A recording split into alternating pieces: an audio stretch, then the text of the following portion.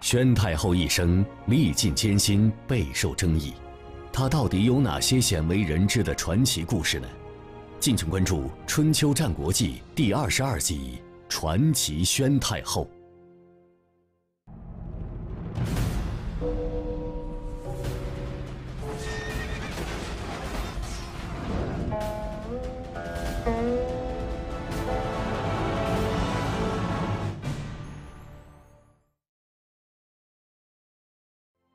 前三百零六年，秦武王因举鼎而死。在赵国赵武灵王的拥护下，秦公子嬴稷从燕国回到秦国，顺利登上王位。他的母亲秦宣太后由此登上历史舞台，以太后之位主掌朝政。他执政期间是大秦崛起的鼎盛时期，因此在秦国历史上具有举足轻重的地位。作为一位稳掌朝中大权的太后，她又是如何对待权力的？她为秦国做出了哪些重要的贡献呢？她在政治上独到的眼光、英明的策略、狠辣的手段以及情感上的风流韵事，都成为了文艺创作的题材。关于秦宣太后这位传奇女性的故事，成为了人们街谈巷议的热门话题。《芈月传》中的芈月是否就是秦宣太后的真名？真实的他与文艺作品中的他又有哪些不同之处呢？华中师范大学刘兴林教授做客百家讲坛，为您精彩讲述《春秋战国记》第二十二集《传奇宣太后》。在大秦崛起的鼎盛时期，出现了一位举足轻重的风流太后，她也是中国历史上的第一位太后，还是中国历史上第一位临朝执政的太后。这就是秦宣太后。秦宣太后叫什么名？她的童年是怎么成长的？她的少女时代怎么度过的？她又是怎么样就嫁到秦国去的？等等等等，在历史上毫无记载。正因为历史上留下这么多的空白，所以这就给后人的创作。留下了想象的空间。秦宣太后的儿子是秦昭襄王，秦昭襄王在位呢是五十六年，这五十六年中，秦宣太后执政和参政四十年，这个时间呢，超过了西汉的吕太后和唐代的武则天加起来的总和，而且呢，在这一时期啊，秦国发展到鼎盛阶段。人们有了想象的空间，创作了电视连续剧和小说《芈月传》。秦宣太后叫做芈月，这个名字啊是虚构的，但是它虚构的很有道理。我们姑且不说啊，那个秦国的兵马俑上面的残存的字，以及的阿房宫那个铜瓦上边合体的字。有“明月”两个字，咱们姑且不谈，我们仅仅找一个根据，就是将太后比作月亮，那可是名家的比喻。司马迁说：“未姬之举以无楚，武安之贵在日月之际。”就是说，魏姬侯能够被提拔起来掌权。是因为在镇压吴楚七国之乱立了大功，而武安侯田汾呢，之所以能够显贵，是因为皇帝刚刚即位，他没掌实权，老太后还在执政。这里的日是用来比喻皇帝汉武帝，月呢指的是汉武帝的母亲王太后，所以用月比喻老太后啊，这个比喻可是介于。中国第一部纪传体通史了。秦宣太后，她是秦惠文王的嫔妃，秦昭襄王的母亲。在秦惠文王时代，她的称号是芈八子。在秦昭襄王一即位之后，她的称号就升为王太后，但是都没有记录她的名字。中国古代太后的称号就从秦宣太后开始，但是秦宣太后鉴于史传记载的故事啊，都没有作为一个什么正面形象来描写。这是因为封建社会重男轻女，再就对于秦国的这位太后呢，大家对秦国没好感嘛，啊，对太后也没好感，所以只谈她的几则趣事而已。但是透过这件事情，我们看到的，却是一位举足轻重，能够使秦国强大到空前未有的地步，是这样一位铁娘子。在秦惠文王众多的儿子中间，有两位的名字起的特别的有气势，一个是王后生的，叫荡。这个荡取自《诗经·大雅》的荡。另一个儿子呢，就是芈八子生的儿子，叫季，季也取自《诗经》最有名的《诗经·大雅》的声明，讲周民族的起源。季，是中国农业的发明者，周民族的始祖，叫做后稷，这名字取得大气。秦惠文王去世以后，太子即位，这个太子就是大。他就是秦武王。秦武王生的高大孔武有力，正因为高大孔武有力，所以他呢偏好举重，偏好比力气。在他的周围，就聚集着诸侯各国来的几位大力士。大力士们在他的门下，那可吃香，都做大官。秦武王时期干了一些大事比如打韩国，攻益阳。他重用的有甘茂，还有初离子，是可以干一番大事业的。如果他没有和他的大力士去比那个举鼎的话，他可能会做一番大事这个大力士叫孟月，说话的说读作月，孟月。结果呢，这个鼎还没有举起来的时候砸下来了，砸断了髌骨。按理说呢。这砸断髌骨啊，他也不过就是外伤骨折，但是他当天晚上就死亡了，所以由此判断呢，这个秦武王是内脏严重受损，内出血死。他死的他没儿子，更别说立的有什么太子了，没做这个准备。这样一来，秦惠文王的其他的儿子们，人人觉得自己有份儿。所以，诸公子争位，争这个国王的位置。面对着这样的情况，芈八子的儿子公子季，在燕国做人质。他得到两个人的资助，鼎力相助，登上了秦王的王位。这一个人呢，就是当时的一个霸主，赵武灵王。前面说过，赵武灵王。了不起的胡服骑射，这个赵武灵王一反映这事儿啊，就派了他的这个赵国代郡的郡相，叫做赵固，也是他赵家人，赵固，马上到燕国找到公子季，把他送回秦国。没有这一个赵武灵王的支持，你像一个在外面做人质的，在北方燕国，你要回到秦国非常困难。赵武灵王。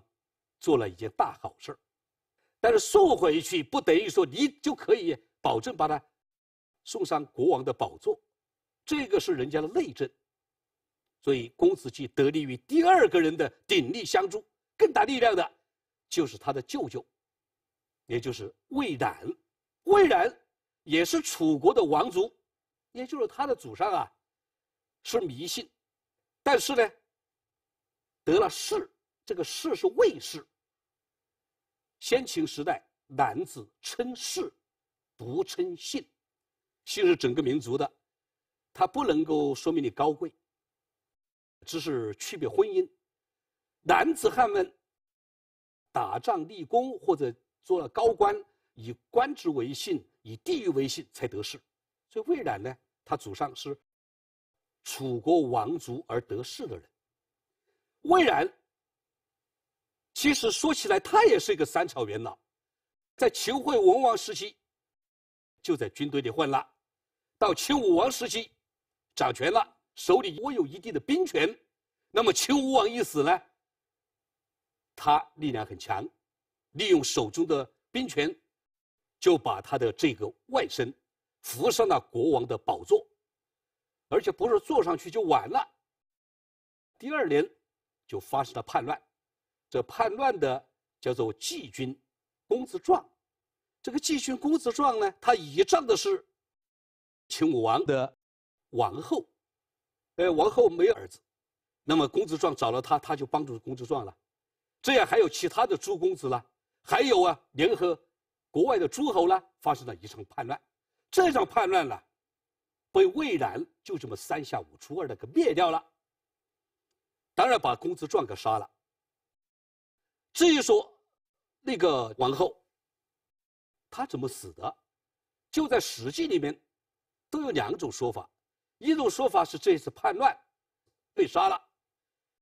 另一说法呢，就是说在秦武王之前他就已经死了，去世了。那这就说不是在这个叛乱中被魏冉给杀掉的。那么魏冉在镇压了这一次政变之后，他的权力就很大了，因为国君这个昭襄王还很年轻，所以这个时候呢，他还不能够啊亲政。基本上就是太后临朝，舅舅呢参政。太后临朝并不是垂帘听政，他不垂帘，直接坐在朝堂上，坐在执政者的位置上。当然，当时他并不老，他最多也就是一个三十多岁。在百家讲坛微信平台上，有网友问：秦宣太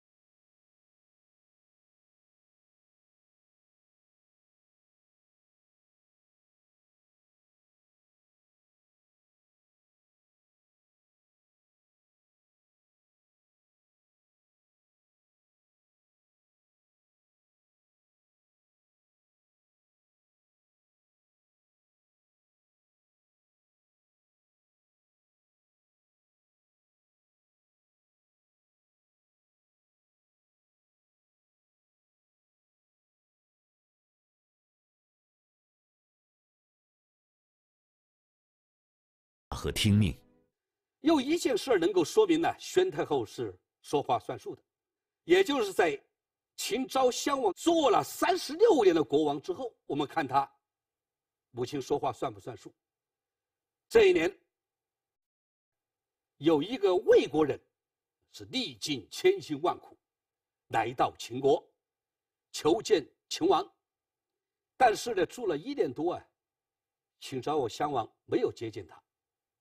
最后，他通过上书说一句话说的不对，你给我砍了。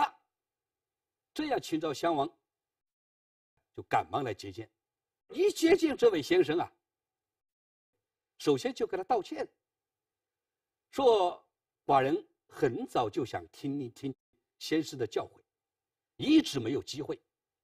最近呢，又因为义渠的事情太紧急，天天要出主意想办法。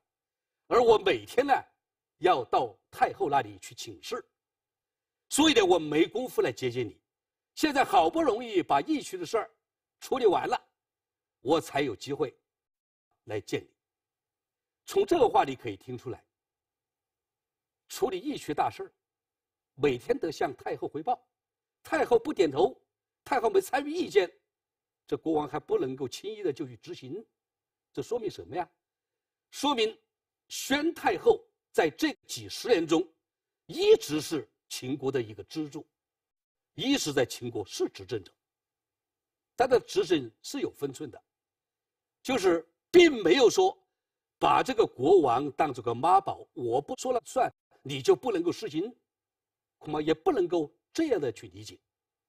第一，看出太后她的执政是一直坚持下来的，尽管没有具体的记录，你从这段话，请昭襄王，呃，说我一直每天汇报，没工夫接见先生，现在有点功夫，才来接见，就可见老太后执政是实实在在的。现在呢，我们要说明第二个问题：太后执政，这个秦昭襄王是不是个傀儡？那我们就拿秦昭襄王刚刚即位的情况来说事儿。秦昭襄王刚刚即位，楚国派出军队，猛烈的攻击韩国。我们知道韩国就在秦国河对面，韩国受到楚国的攻击，还到哪去求救呢？就只好派了一个叫上进的大夫，上进啊，来到秦国，知道国王刚刚即位，那么有事儿我们向太后请示，他就讲一个道理：唇亡齿寒。咱们韩国是秦国的外围，就像秦国的嘴唇，韩国被楚国灭掉了，秦国也就危险了。直接的面临着楚国的威胁，所以，请太后一定要下令出兵援救韩国。太后啊，她说话了，她说这么多的各国使者，我看看就那个韩国那个上进啊，说话还在理儿，让他进来，我跟他说说，单独跟他讲，说上进先生啊，韩国向秦国求救了。你想想啊，我们只要一出兵，不出兵则已。只要一出兵，就要耗费，每天都要消费千金，这样大的耗费，您是不是也应该让我得到一点好处呢？这个齐宣太后啊，完全是从利害关系，这么平等的公平交易，我救了你韩国，你怎么报答？你不报答，咱白跟你干了，这不公平的买卖咱不做。太后这话应该说也没错，这个叫做话糙理不糙，说的俗气，但是它就是一个真实的道理，总得双方都得到好处才行。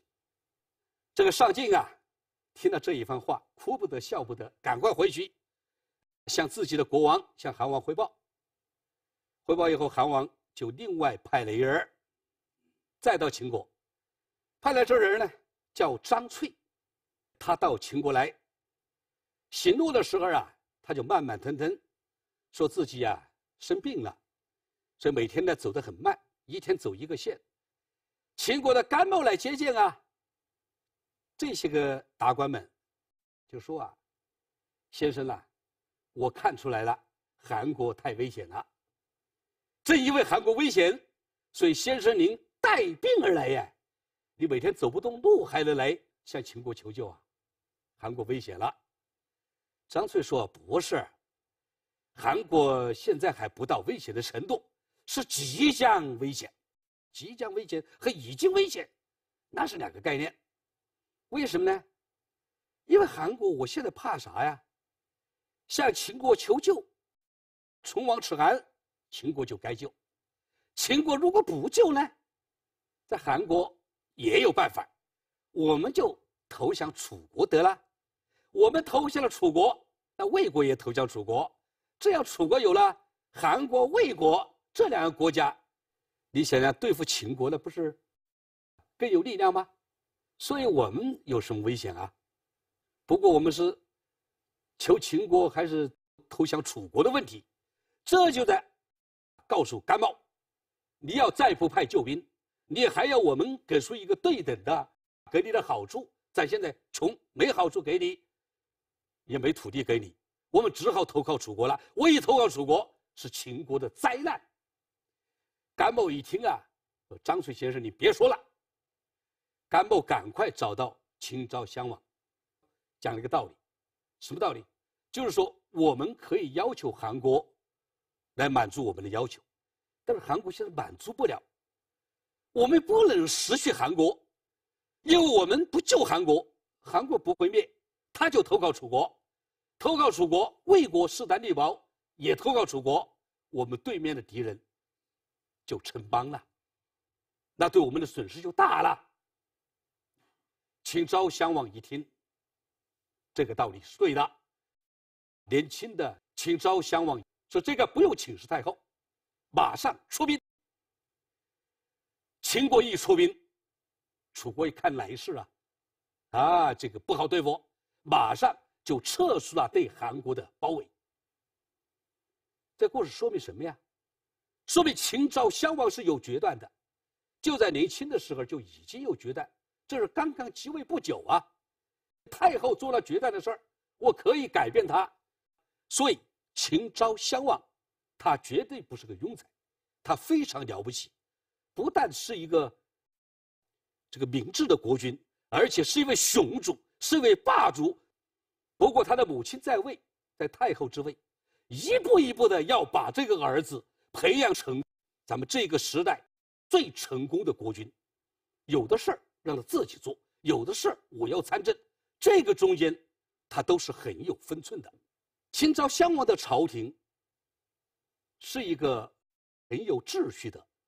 能够互相制衡，又能够通力合作的朝廷，所以这样秦昭襄王这个时代才能够成为大秦崛起的鼎盛时期。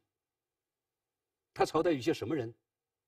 三朝元老有两个地位最高，一个是初离子，他的名字叫疾疾病的疾，他就是秦惠文王同父异母的弟弟。秦惠文王在世的时候，初离子跟着他鞍前马后，什么大事兄弟两个商量着办。所以在秦武王、秦昭襄王这个时代，初离子他仍然代表着秦惠文王的意见。秦王不在了，初离子就是老秦王的代表人。所以这个人举足轻重，而且呢，他很有智慧。秦人把他称为智囊。有句谚语说：“利者任笔，智者出离。”任笔是最有力气的大力士，智慧这是出离者。这是一个。那么相制衡的另一个呢？也就是芈八子的同母异父的弟弟魏冉，他也是三朝元老。所以这两人，一个代表着秦惠文王，一个代表秦惠文王的嫔妃这个芈八子。他们本身既能合作，能理解，同时呢能够制约。除此以外，还有一个不是王秦国戚的三朝元老，那就是司马错。秦惠文王、秦武王、秦昭襄王都离不开他，也没有给他很高的官职，但是国家大事他都是参与者之一。三朝元老之外，又由于呢魏冉。他推荐了一个奇才，就是白起。白起特别有才，是个军事奇才，战国四大名将之一。再加上还有魏冉的弟弟，就是糜荣，初离子也是能带兵打仗的。所以在这个朝廷里呀，基本上可以说，他实行了一种集体的讨论制度，由秦昭襄王来发命令，由太后来点头审核。其他几位出主意，这是一个呢，既能够互相制衡，又能够通力合作的集体领导。但这个，他也埋下了一些矛盾的种子。因为秦国历代国君实行专制的现象是非常普通的。尽管秦昭襄王他相信了母亲，但是母亲很多作为，在他来说，心里也是特别的不舒服。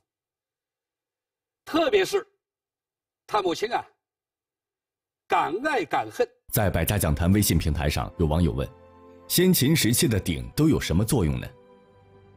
鼎最初就是实用的生活器皿，用来烧水、煮饭、煮肉。鼎有小有大，那么人口越多，它的鼎就做的越大。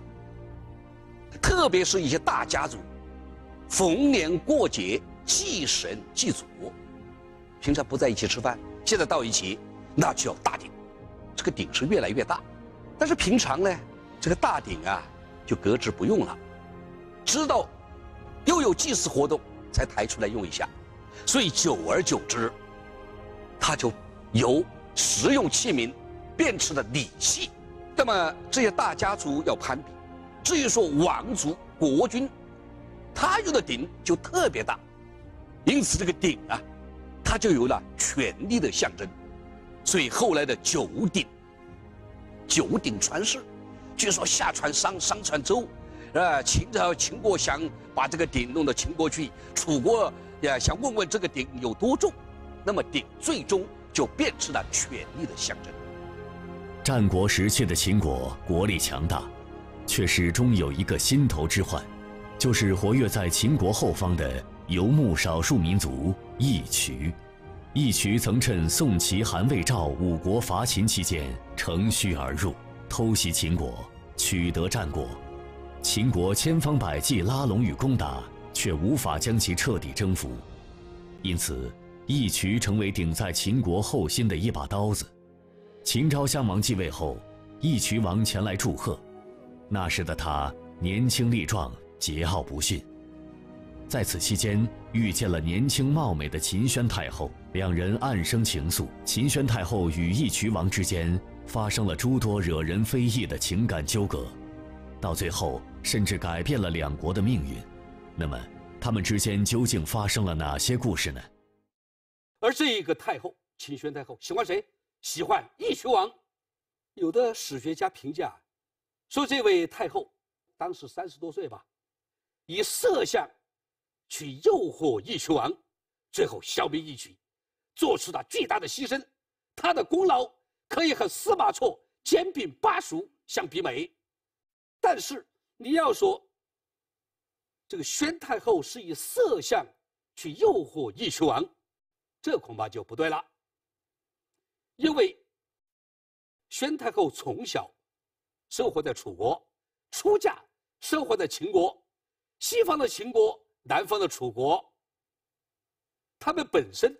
对中原的礼仪啊，那就是可行则行，不行则否，没有那么多的礼仪，没有受那么多的束缚，他们向往的是一种自由，起码自己的恋爱那还是可以自由的，这决定了他的个人性格。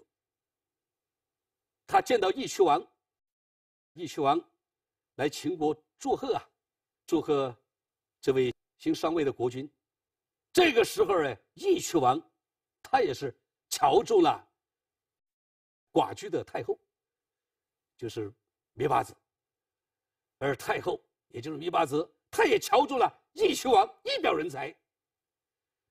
义渠王基本上属于那种印欧血统，长期驻扎河套地区的，和中国西部地区的，原本就从西亚过来，他长得高高大大，很帅，同时呢。也是一个相当自由的游牧部落的首领，没那么多的礼仪的束缚，所以这俩人互相看上了，互相爱上了。但是宣太后是有原则的，这个原则就是不能够损害国家利益。当我的个人情感问题与国家利益发生冲突的时候，个人感情。绝对服从国家的需要，这一点，他叫做拎得清。在宣太后与义渠王形同夫妻的这些年里，那么秦国与义渠之间也是和平相处。有了这个样板，那么民间的通婚不计其数。但是一群人就是一群人，那种野蛮的、落后的游牧生活。决定了他们不能够在秦国受到这样一个传统的法治国家的约束，所以呢，这个民间的案子多得不可胜计。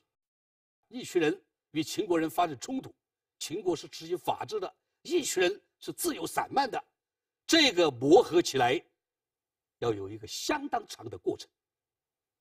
但是义渠王呢，是坚决站在他义渠人一边，咱们的习惯就这样。而宣太后呢，坚决地站在秦国立场上，秦国的法治就这样。所以这样一个矛盾不断的激化，所以呢，矛盾到不可调和的时候，这个宣太后应该说是经过了激烈的思想斗争，最终呢，设计把这个义渠王骗到宫里，把他杀掉了。当义渠国群龙无首的时候，秦昭襄王发大兵进攻义渠，灭了义渠政权。其实宣太后不是为了解决这个义渠才喜欢义渠的，是感情。但是当国家利益和情感世界发生激烈冲突、不可调和的时候，毅然的以个人感情服从国家利益，杀了义渠王，灭了义渠国，这样。秦国的西部可以说是一劳永逸，建立郡县，强制这个游牧部落逐渐的形成一种游牧和农耕相结合的生活方式。这问题是在宣太后手里彻底解决了。在百家讲坛微信平台上，有网友问：秦昭襄王在位有五十六年之久，他是秦国在位时间最长的君主吗？秦昭襄王在位五十六年，在秦国历史上。是在位时间最长的、第一长的，而且中国历史上历代帝王中，他也仅次于清朝的康熙和乾隆两位皇帝。晚年的秦宣太后被秦昭襄王废除执掌朝政的权利，但秦宣太后在感情世界里仍然敢爱敢恨，她又相中了另一位名叫魏丑夫的大臣。据史料记载。魏丑夫英俊潇洒，风流倜傥，秦宣太后为之动心不已，甚至在他即将去世前，还下令要求魏丑夫为自己殉葬，可见秦宣太后对此人喜爱之深。那么，魏丑夫与秦宣太后之间发生了哪些故事呢？秦宣太后又是如何对待这位宠臣的呢？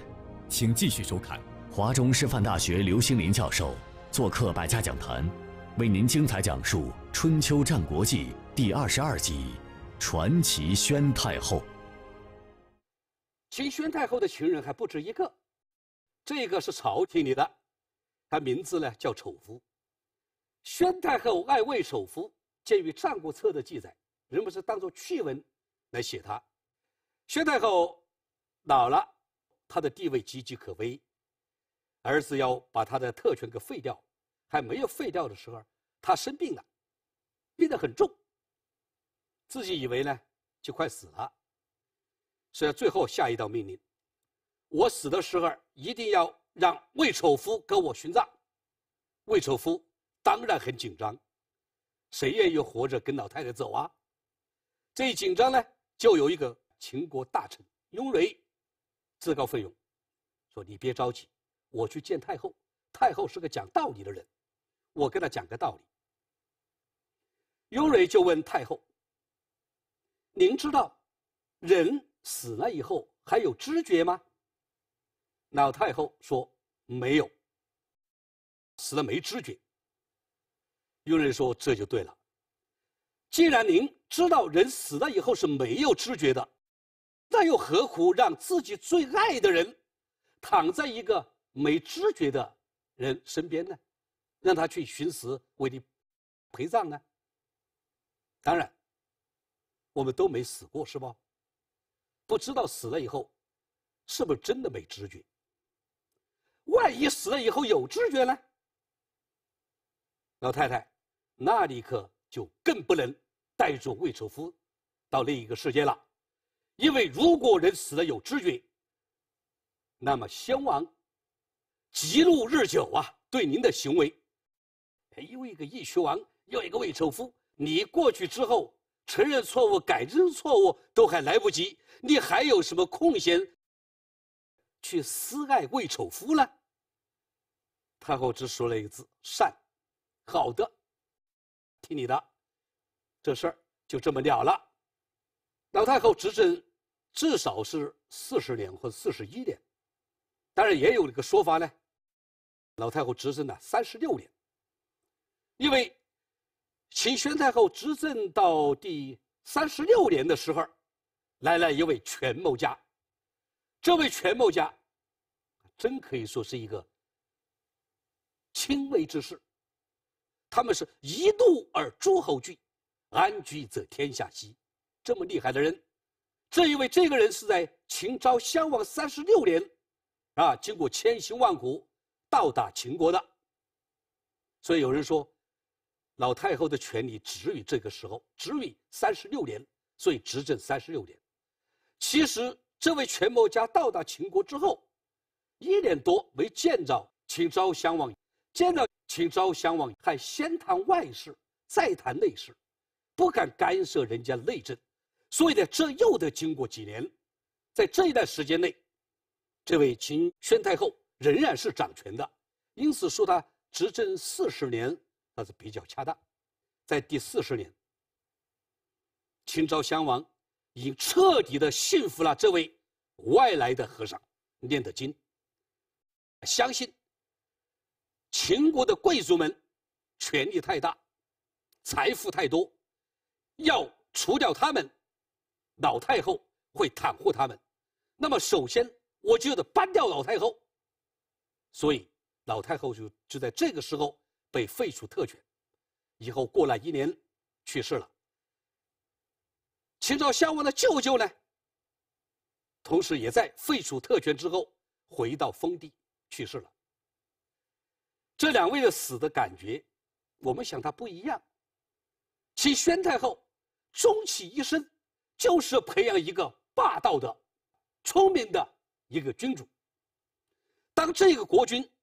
他的儿子一步一步成长，最后到向自己开刀的时候，他是欣慰的，终于这个儿子培养成功了。